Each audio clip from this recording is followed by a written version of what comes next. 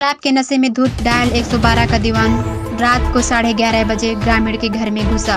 शिकायत करने पर बोले पुलिस क्षेत्राधिकारी, गोला ने कहा, जाँच उपरांत होगी कार्रवाई।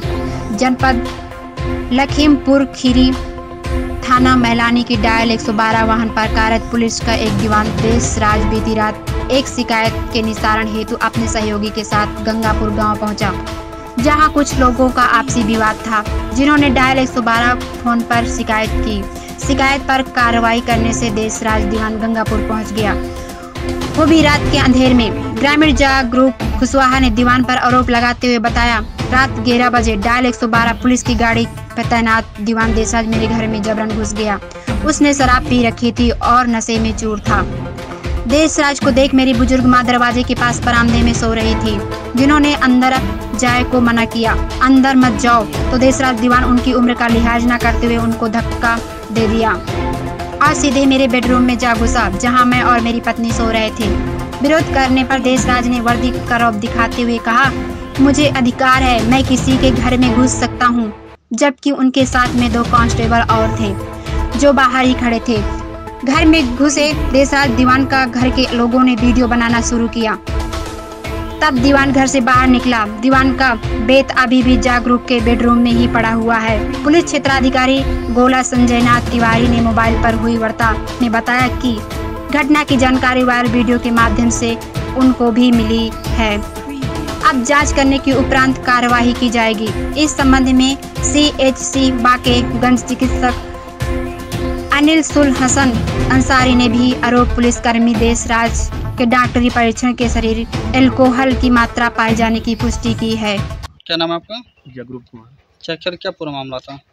सर यहाँ पे दो तीन लोगों विवाद हुआ था तो मैंने उनको बीच बराव कर दिया था।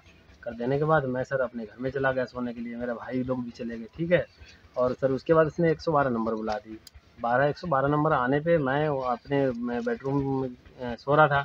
माता जी बाहर सो रही थी। मतलब दूसरे रूम में ठीक है? तो पहले गेट पे। तो माँ वो आया उसने बोल भद्रता के साथ बोला जब ग्रुप कहाँ गया है? कौन है जगरूप कहाँ है? निकल बाहर। तो माता जी ने पूछा भैया क्या बात है? बताओ।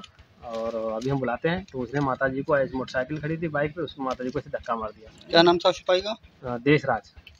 तो माता जी वहाँ गिर गई। गिर गई तब तक वो सीधे चला गया। और वहाँ जहाँ पे मैं सोता हूँ बेडरूम में वहाँ पे कूलर चला था। उसकी वजह कूलर की आवाज़ से मैंने कुछ जान नहीं पाया क्या हुआ। जब इसने जाके बेत वहाँ पे चला दिया ऐसे तब मैंने जाना कि लग रहा कोई है। जब मैं उठ के देखा तो मैंने कहा अरे तो पुलिस वाला है। जब मैंने कहा पुलिस वाले से पूछा मैंने कहा कि हाँ बताइए आप यहाँ तक आए कैसे? अरे वारंट है मेरा नाम क्या? जो। आप दिखा रहे हैं। तो बोला कि मेरा मेरी थार्टी है यहाँ आने की अंदर आने तक की मेरे पास पावर है और मैं तो सही कर दूँगा। अभी दो हज़ार थप्पड़ मारूँगा तेरी अकल से ठिकाना जाएगी। बहुत बोलता है। अभी बोलना बंद हो जाएगा। मैंने कहा, अभी क्यों किस बात बोलना जाएगा अब मुझे पकड़े के बाहर के लिए घसीट रहा था। जब घसीट रहा था, मैंने कहा, आप पीछे क्यों ले रहे हैं? और जो है, सबूत दिखाइए मुझे पकड़ने का। तो बोला, क्यों सबूत दिखाएँ? मेरे पास थर्टी है। मैंने कहा, ठीक है इस थर्टी तो मैं अभी बता रहा हूँ। तो मैंने भी मोबाइल निकाला और उसके बाद मूवी बनाना शुरू कर दिया। जब मैंने मूवी और डंडा मेरी चारपाई के पास वहीं जब उसने चलाया तो वो इतने ड्रिंक किए हुए था कि उसका डंडा भी वहीं गिर गया। जब डंडा गिर गया, तब मैंने उससे उठकर पूछा तुरंत कि क्या मैटर है? तो वही बताने लगा कि तूने लड़ाई की है, तूने मारा है और लोगों को मैं तुझे पकड़ने के लिए आया हूँ और तो मैंने कहा, ये, इससे तो कोई बात ही नहीं हुई है। आप जो है मेरा रेस्टोरेंट दिखाइए। तो कहने लगा, अभी ज़्यादा बोलेगा तो अंग्रेज़ी निकाल दूँगा यहीं पे। तो दो चार थप्पड़ मारूँगा तो बिल्कुल सही हो जाएगा। तो मैंने कहा, आप क्यों थप्पड़ मारेंगे और रेस्टोरेंट दिखाइए? तो मैंने कहा, ठीक है अच्छा। अभी मैं मूवी बना रहा, जब मूवी मैंने बनाना बंद कर दिया तो उसने गाली देना बिल्कुल बंद कर दिया।